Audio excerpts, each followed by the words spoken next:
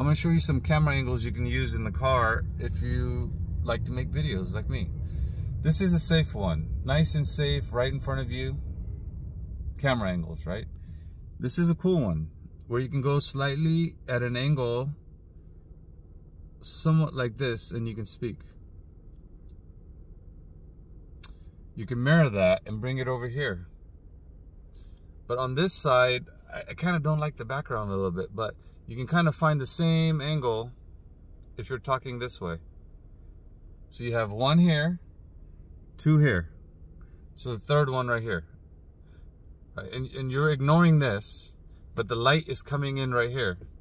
And this is more about framing your face. Like you guys make a lot of videos and your angles are like this, your angles are like, like understand what a nice camera angle is that works for other people. Lower camera angles gives me, I think, control. Higher puts me in a vulnerable position. Like, like now I'm below you and you're above me, right? So I like to speak from like right about here. Like we're the same level. We're the same people we might. Okay, I'm a little different. I'm weird. but my point is very simple. Camera angles, right?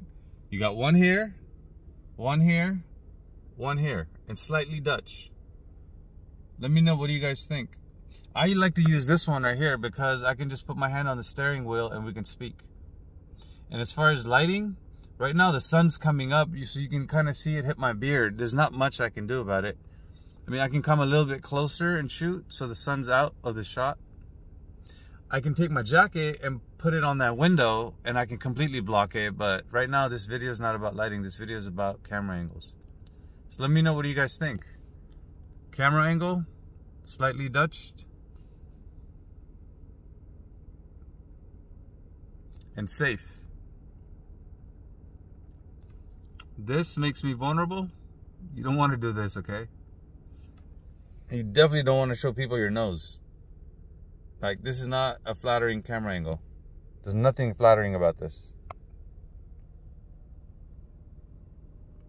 I think start here. You can go slightly up and you can go slightly down. Like start right in the middle, like this. And you literally just look at yourself and the grid lines and you find what works. And if you don't know what grid lines are, I will teach you. I think I'm gonna put a grid line on this image.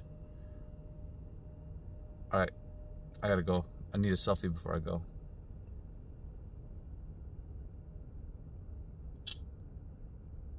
And the fake laugh. Okay, this is another trick. Fake laugh always works. after the fake laugh, the real laugh comes. And then if you take a few pictures, um, you can capture a fake moment that turns into a real moment.